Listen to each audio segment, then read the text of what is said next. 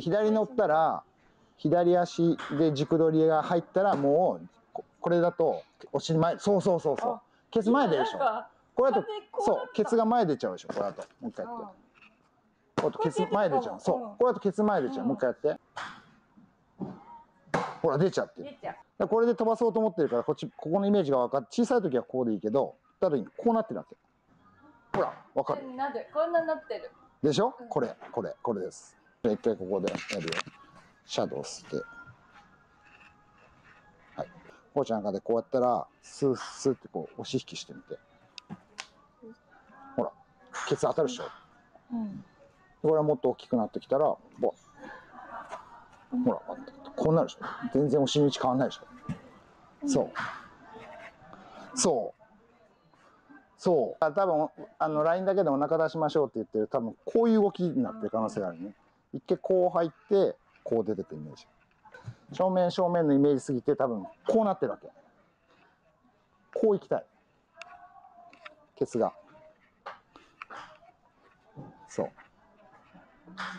そうそうそうそう。そう。常にこれに当たらないといけないのね。そう。あの映像見ててもいい時は多分普通に左に乗ってる時は多分結構そこが入ってるけど多分それがまあ意識じゃないからななんない時があるわけ。そう。できてないわけじゃないよ。でも全くなんない時に多分絶不調みたいな。今日何なのみたいな。何なんだろうみたいな。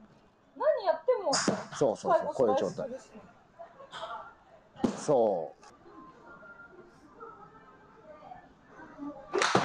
いやおー速そう。だいぶお尻が。はい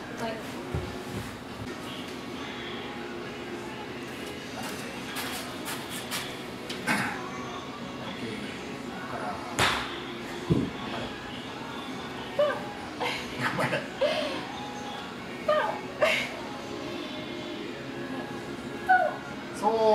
あダメだ右足の感じ右足で回るやつ右足で回っちゃう。感じ一回右足で回るやつもう。切り返した瞬間に一回前に全部出ちゃう。あもっと離れ一ちゃう。回離れるでしょ切り返した瞬間に離れるでしょそう。あ離れちゃう。一回離れちゃう。一回今ここで離れるう。このここでもう。一回前に離れちゃう。こう。いう。懐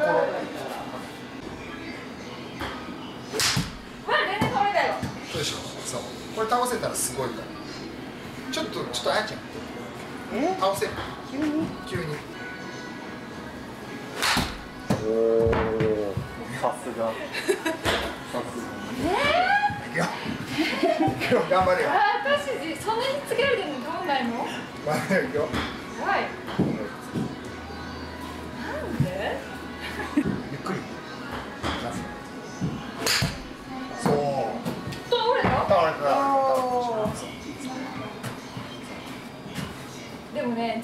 ごく前に出るの分かる。そう。だからここがもちろん前で出るから全部曲がるってわけでもないわけ。こっちが調整できてたらやっぱりここでなんとかポンと捉えれる。そう。ただやっぱりここから上のもうアンダーとかパワープレーとかっていうレベルになってきた時はやっぱりこれこれ運動ってさこの大きな筋肉の運動って一度覚えたら結構いい時間だか。らこれ覚えちゃうと楽ちゃちょっと待って